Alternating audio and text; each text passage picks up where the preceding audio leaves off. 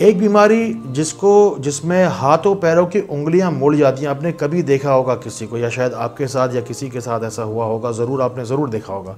हाथों, पैरों की उंगलियाँ जो है वो मुड़ने लग जाती हैं। उसको कहते हैं ऑस्ट्रोप्रोसेस का इशू होता है, हड्डियाँ जो है वो इंतहाई कमज़ोर और भुरभुरी हो जाती हैं।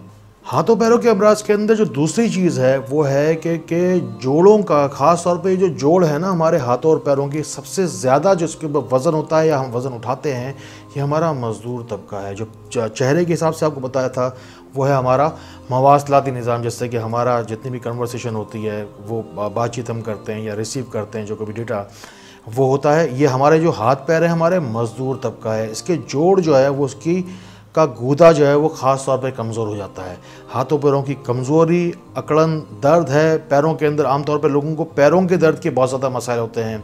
हाथों की उंगलियों, हाथों के अंदर ग्रिप जो है वो बड़ी उम्र के अंदर जाके बहुत ज़्यादा कम हो जाती है। या आगे चलकर लाठी उठानी पड़ जाती है, या कि वज़न जो है वो उठा नहीं पा रहे होते हैं। हाथों पैरों की कमज़ोरी के हिसाब से इस आयत मुबारक से जितना हो सके फ़ायदा ज़रूर उठाइएगा। सुर नहल, आयत नंबर उनहत्तर।